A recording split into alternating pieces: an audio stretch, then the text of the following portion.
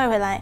美国警察涉嫌暴力执法的事件接二连三，在犹他州盐湖城，一名母亲要求警员协助将十三岁的自闭症儿子送院治疗，不料男孩挣扎逃跑，警员在追捕的过程中对他连开十一枪。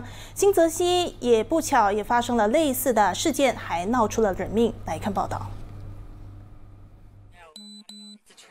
九月四号晚上，盐湖城一名妇女巴尔顿报警，指患有自闭症的儿子林登病情发作，自称拥有手枪，还恐吓要杀死他和一位男同事，因此要求警员将儿子送去精神病院治疗。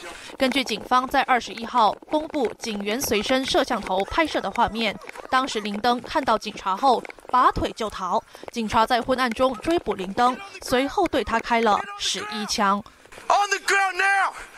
On the ground.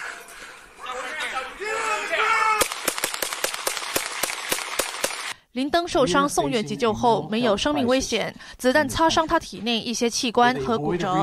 事后，盐湖城市长要求调查执法警官是否合法开枪。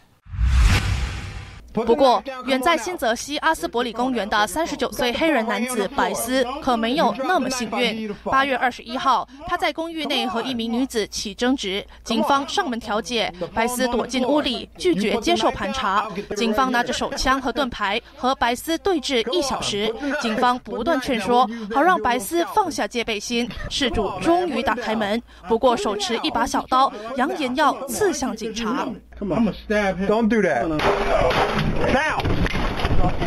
Down. Down. Down. 一名警员在混乱中开了七枪，男子送院后证实不治。新泽西检察署正在调查有关警员开枪是否涉及刑事成分，因为在场警员当时手持枪械和盾牌，理应有充足的保护。马新社电视综合报道。